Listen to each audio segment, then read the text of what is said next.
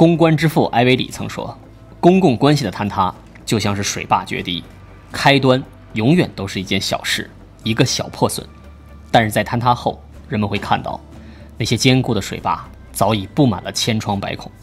而搅动风云、亿万关注的主播坍塌，起源也许只是一盒月饼，亦或是一捆粉条，随后才是出轨、假货、控价等等问题。最后，那些曾经的赛博家人们。”将愤怒从某个人上升到了整个行业。如果你曾利用公众狂热的愚蠢，那么必将承受公众狂热的攻击。镜头前，这群亿万富豪或逗笑表演，或温情感人，或声嘶力竭，拼命的高呼“没有中间商挣差价”。但如果有人能去到直播间现场，看看台前幕后上百人，公司大楼数千人，这些人都是在干什么呢？这些人的工资奖金都是从哪儿来的呢？没有中间商这件事，在主播嘴里本身就是悖论。毕竟主播的身份是销售方，而非生产方。那么，如果真的没有中间商了，主播在干嘛？那中间商就是商业的原罪吗？怎么可能？大到银行存贷，小到街头的商贩，中间商是商业世界里最重要的基石之一。那么，为啥如今的中间商会变得那么不招人待见？或者？该如何做好一个中间商呢？下面咱们来看看今天的主人公：一门双星子，三代勤打拼，四海皆财富，五星共腾飞。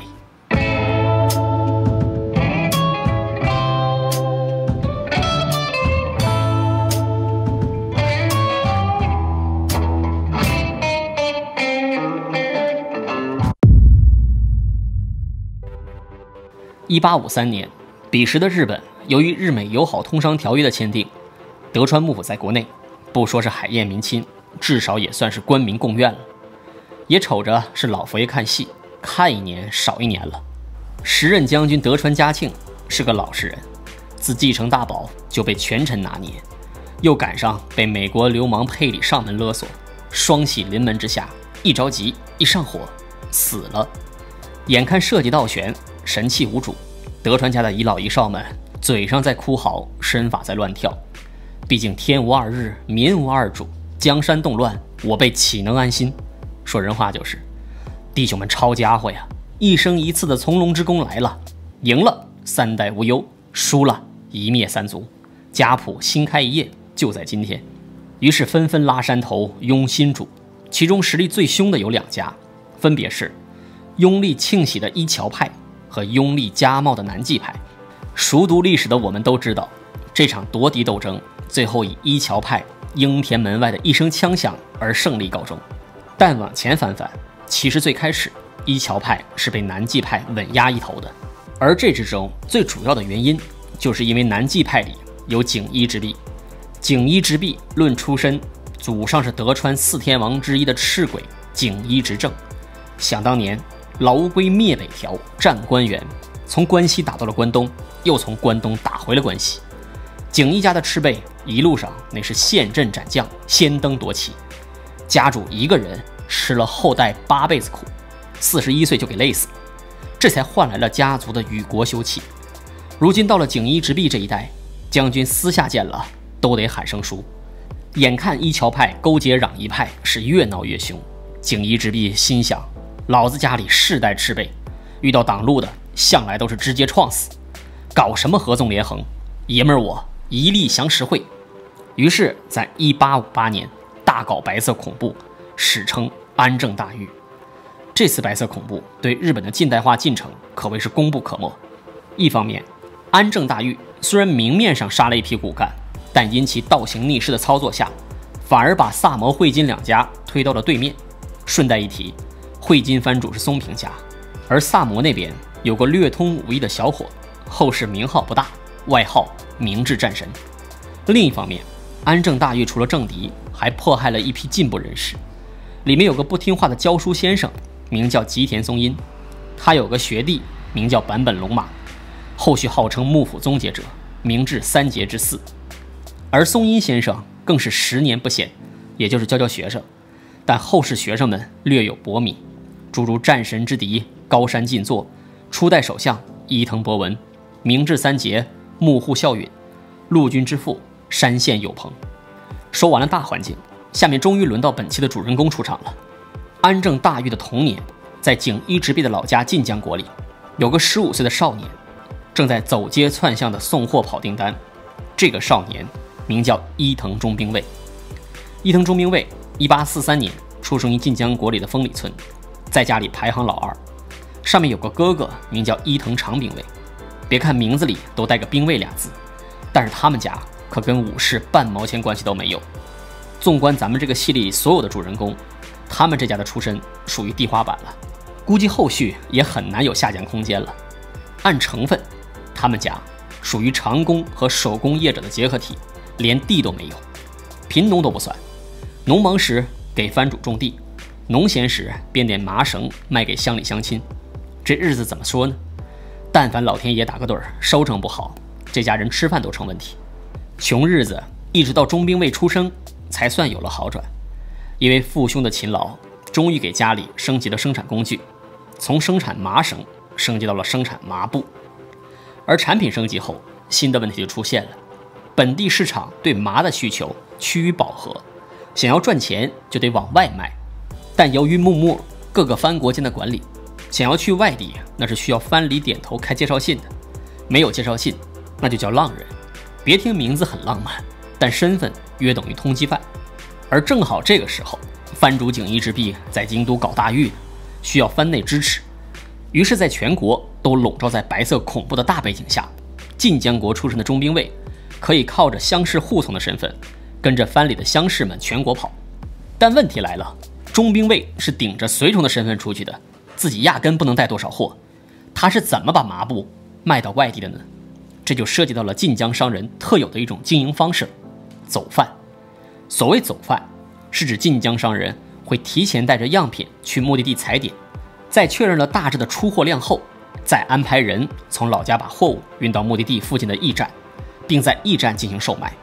而中兵卫在如此实施了一段时间后，便发现了问题。首先，考虑到自己才十五岁的体格，祖坟里也没有战神的 buff，每次光带着样品都扛不动了。其次，每次送货都放在了驿站的仓库里，来回一趟扣除仓储物流人吃马嚼，全给驿站仓库打工了。于是中兵卫对走贩这一形式进行了升级迭代。以前别人都是带样品，眼下自己已经积累了足够的客户群和口碑，客户对家里的产品有了信任度。咱与其苦哈哈的背样品，不如直接做个产品册。另外，麻布放驿站不是要收费吗？做生意咋能让人卡脖子？后续咱直接把布送到客户家里，都是物流费，我不也能挣吗？这思路，后续东哥不得点赞啊！就这样，一个十五岁的少年，带着一家老少纺出的麻布，用脚走遍了大阪、常州、冀州，每到一地。便挨家挨户的敲门问候，拿出怀里的布片展示推销，最终靠着自家产品的质量和真诚，换来客户在自己的商品册上画下了一个红圈，而这个画满红圈的小册子，便是命运齿轮转动的起点。第二年，光是大阪进击已经不能满足他了，借着安政大狱造成的管理松动，中兵卫将目光看向了更远的地方。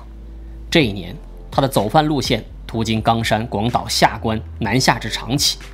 当时日本与美国、英国、法国、俄罗斯、荷兰五国签订了友好通商条约，日本跨入了自由贸易时代。在亲眼看到了外国人军舰、商馆后，中边卫相信，后世各国壁垒必将打破，全球互通有无的时代将会到来。而在一百五十年后，大家一般称这种想法为“地球村”。一八七二年，临近而立之年的中兵卫攒足了本钱，在大阪的街头开了一家和服布店——红中商店。店名来源则是早年的走贩经历。那些年，客户总是会在中兵卫的产品的册上用红笔圈下所需的商品，且中兵卫每次都保质保量地将货物送达，于是便留下了个红中的雅号。随后几年，中兵卫在大阪又开设了几家商店。涉及纺织、日杂和粮食酒类，而一直负责采购进货的哥哥长兵卫，为了采购转货方便，也在博多开了一家伊藤长兵卫杂货店。如果说中兵卫这个人有啥特点的话，除了脑子好使外，人也好，各种意义上的好。首先，作为晋江出生的商人，中兵卫对佛教属于批判性的虔诚。佛教讲究引人向善，普度众生。中兵卫说：“我信。”但寺庙说：“心诚则灵。”咋灵呢？您给点香火钱，越多越灵。钟兵卫说：“你滚。”所以，每当他去寺庙祭拜，遇到那些一脸愁容的信徒，大都顺嘴问一句：“大兄弟啊，遇到啥难事了？来求菩萨呀？”菩萨也忙。如果是大事儿，您就还让菩萨接待；要是小事儿，我能帮就帮一把。要是遇到个吃不饱饭的，就领到自家的店里给个差事，解决温饱。事后人家对他千恩万谢，他却说：“咱在庙里遇见了，那是菩萨的指引。”我可不敢鞠躬。就这，后世有些佛教徒也大骂其不尊佛法，网络戈培尔是吧？忠诚不绝对，就是绝对不忠诚。但在另一些人看来，这哥们儿才算是真菩萨。另外，在生意上，红中制定了利益三分主义，纯利润分为本家缴纳、店铺公积金、店员分红，分配比例为二比五比三，即老板拿了两成利润，店里留了五成经营。员工分了三成红利。另一方面，潜心佛教叠加少年的走饭经历，钟兵卫这个人共情能力很强。每当遇到了生意上的纠纷，他很清楚，自己作为中间商，既是买方也是卖方，挣的就是双份钱，那自然要两边协调。在他看来，古往今来，商人地位低，被人鄙夷，大多因为商人太过注重利益。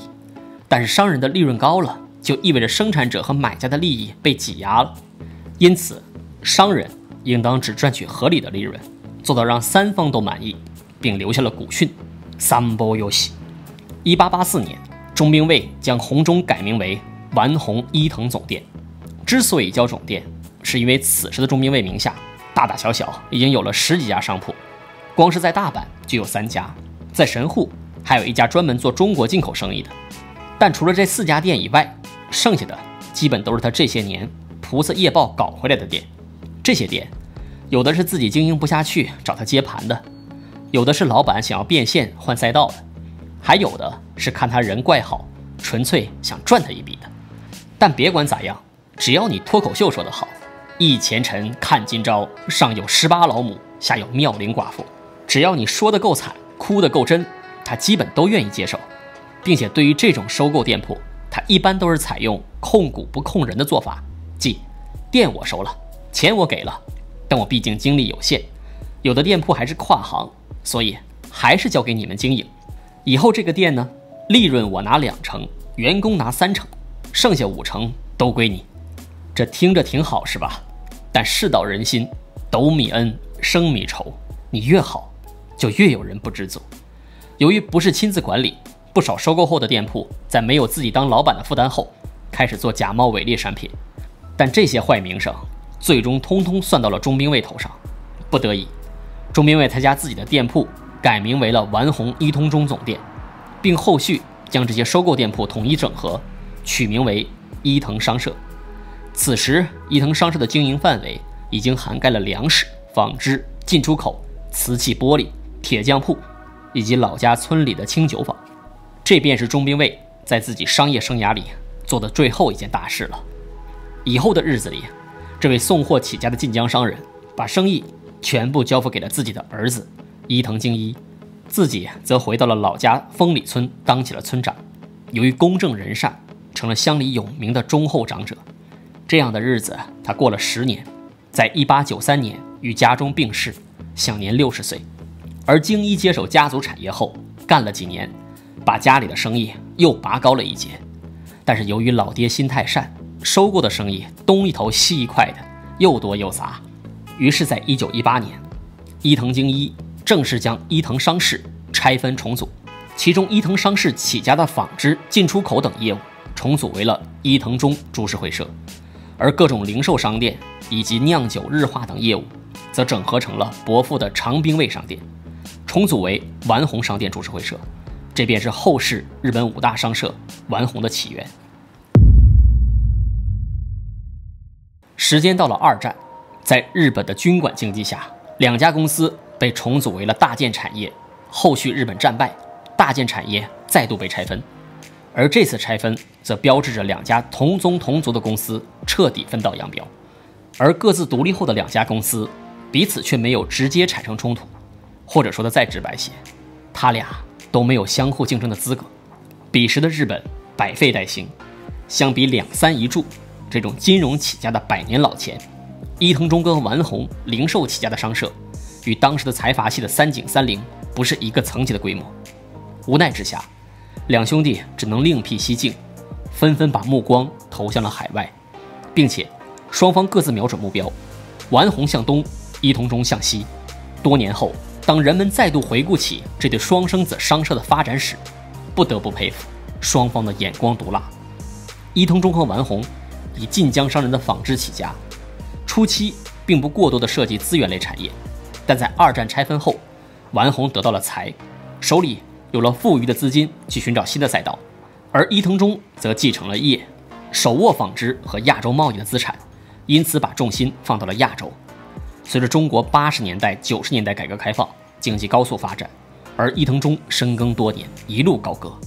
如今的伊藤忠商事的营收跃居五大商社之首，被称为最强中国商社。而这其中的渊源，则是因为其社长。赖岛龙三，赖岛龙三曾是日本陆军士官学院的军刀组成员，中期军旅生涯干得最多的就是粉饰战报、谎报军情，最终造成了日本海军在太平洋上的团灭。而后又因为成天和别的日军将领嘴碎日本要战败了，被踢出了大本营，扔到了关东军挂职，没俩月又赶上了日本投降，随后被苏联红军俘虏，在西伯利亚挖了十一年的土豆。释放回国后，赖岛加入了独立不久的伊通中上社，以四十五岁的年纪，从一个四等职员开始了自己的职场生涯。这个四等职员是个什么起点呢？这么说吧，他得管高中毕业的女生叫前辈。但是赖岛五年后被任命为了伊藤忠商社的业务本部长，负责长期的战略规划。他自称不懂业务，完全凭着当年做参谋的组织经验，让伊藤忠在独立后。很快地理清了经营范围和业务重心，并站稳了脚跟。而真正让他成为伊藤忠掌舵人的原因，则是他对国际大事独到的眼光。一九六八年，彼时的伊藤忠商社正在经历着立社以来最困难的时期。作为一家综合商社，自己要做的事情很简单：从厂家拿货，给客户卖货。但问题是，拿货好拿，卖货不好卖。日本的市场就那么大，已经被两三一柱控制住了。剩下的海外市场更不好干，前有美国，后有欧洲，隔壁韩国在三不五时的使绊子。就在这时，赖岛龙三环顾全球，给出了自己的版本答案：中国。在赖岛看来，欧洲、美国本土既然都插手不上了，那就不如烧冷灶。既然客户要培养，那市场怎么就不能培养呢？中国虽然目前消费薄弱，但人口结构健康。此刻又在成长期，眼下的中国可以是我们的市场，后面可以做我们的供应商。不谋万事，不足谋一时。但有过了解历史的诸位应该知道，当年的改革绝不是一蹴而就的，傻子瓜子事件层出不穷。一九七零年，中国断绝了日韩经贸往来，当时日本几乎所有的商社都选择了砍掉对华业务，伊藤忠也有切割的打算。唯独赖岛龙三力排众议，保留了公司对华贸易的全部人员，并认定这种情况不会超过三年。果然，一九七二年初出现了松动，后续伊藤忠一九七二年三月便恢复了对华贸易，比时任首相田中角荣访华还早了半年。从此，伊藤忠的业务重心全面倒向中国，和中国发展高度绑定。一九七九年。伊藤忠在北京设立了驻华代表处。一九九二年，中国宣布建立市场经济制度后，伊藤忠又抢先在上海成立了法人，并于一九九三年获得了许可设立的投资性公司。二零一八年，伊藤忠更是提出了要求四分之一的员工会中文的发展要求，并为此每年投入了数亿日元。正是这种一贯重视中国的态度，使得伊藤忠在中国积累了良好的口碑和丰富的人脉，确立了伊藤忠。中国最强的商社的地位。有人说，直播电商让宏基一时的商贸生意淡出了市场。可这句话不是看低了商贸，而是抬举了主播。事实上，淡出的大多是 C to C、B to C 以及部分 B to B 领域的中间商业务。而这种交易上升至国际贸易以及大宗商品交易时，贸易公司仍然是拥有着无法比拟的优势和壁垒。这也是为何时至今日，各国都会有一些体量巨大的贸易公司，充当着贸易执行的角色。这个角色在不同的国家有着不同的名字，在中国可以叫外贸集团或者叫华润，在美国可以叫跨国公司，在日本则是叫综合商社。如今提到日本的综合商社，耳熟能详的必然是五大商社：三菱、三井、住友、丸红和伊藤忠。其中前三个大家都熟悉，毕竟作为百年财阀，各行各业都要伸伸手。那么体大面阔的综合商社。无疑是最好的存在方式。至于后面两个，又是如何做到和三井背后的大财阀掰手腕的呢？答案很简单：高手背后有高人。他们的背后，分别是曾经的四大财阀之一芙蓉财团，以及现代日本独有的加拉帕戈斯怪兽劝银财团。伊藤忠的故事到此告一段落。下一篇，我们来看看伊藤家的另一个超级商社丸红。以及站在他们背后的两个庞然大物。